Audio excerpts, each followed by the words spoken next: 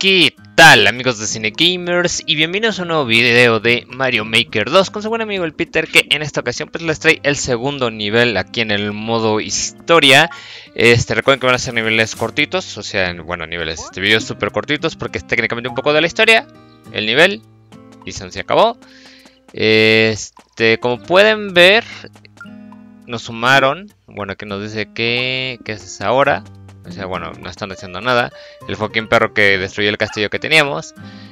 ¿Dónde estará aquel cohete? Tengo... Ay, no chingue, tengo ganas de volverlo a, poner las partes encima. Yo tengo ganas de romperte la cara, pinche perro. Este, ok. Aquí podemos crear niveles y demás, pero esto lo verá Peter del futuro. Si ustedes están hablando con Peter, o están viendo este video con Peter del pasado, pues este, entonces quizás el Peter del futuro ya está creando algún nivelcillo. Estaba viendo unas cosas tan locas. Pero bueno. Este... No, no cambió.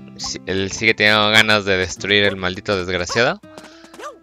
Como pueden ver tenemos 207 monedas porque se sumaron tanto las 100 monedas que nos dieron por pasar el nivel como las 107 que yo tomé en mi, en mi recorrido, ¿no? Entonces esto quiere decir que puedes ir acumulando y aquí esta muchacha se me enoja porque le puse que no, pero...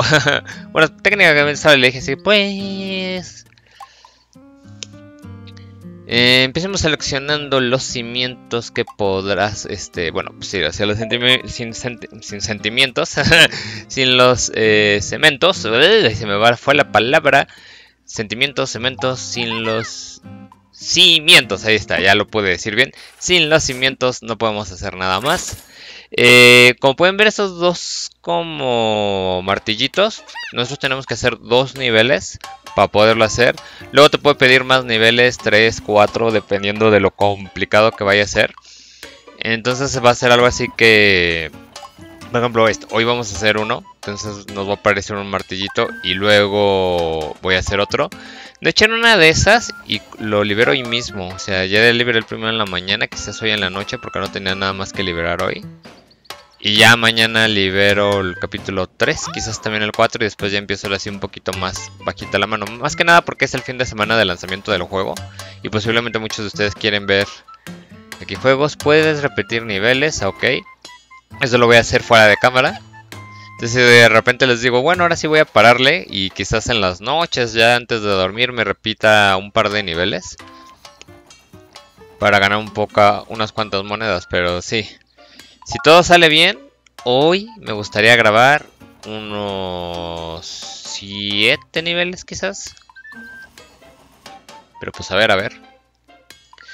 Mm, llevo toda la vida estudiando estos dichosos interruptores de Lone If. Todavía no descubro todos los secretos. Esta, es una de las nuevas mecánicas que metieron a Mario. Que es el botón este de on and off. Entonces esa es una mecánica que se mencionaron en los Nintendo Directs y demás.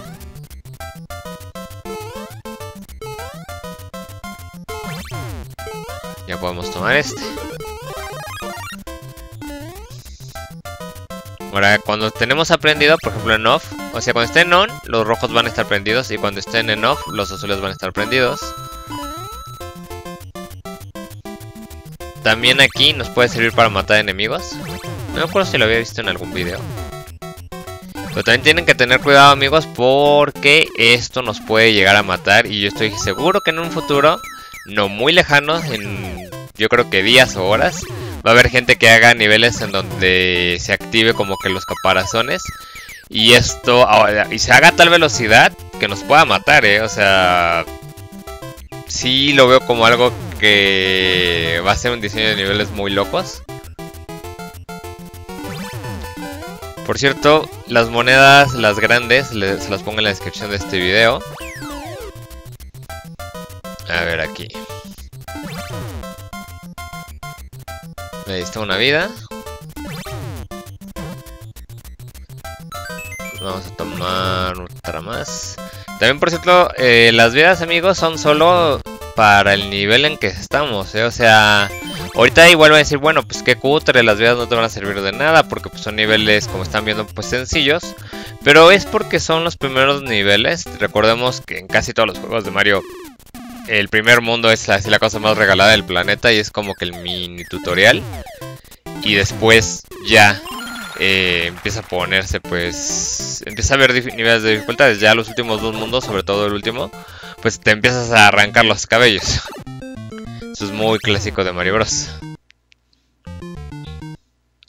Bueno depende. La verdad es que el de 3DS no espérenme el de 10 el que salió de 10 hace como 15 años estaba bien cortito ese juego estaba bien bien cortito ese juego pero aún así me divertía mucho ya me estaba muy sencillo, la verdad. Me acuerdo cuando lo acabé me dije, ¿neta? ¿Neta está tan fácil? Pero bueno, ahí tenías como reto adicional agarrar las monedas, eso le metía complejidad y demás.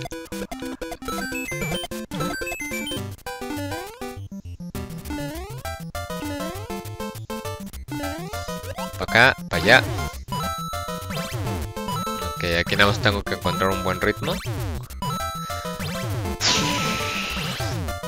no lo crean, como que si da cosita que te puedas morir.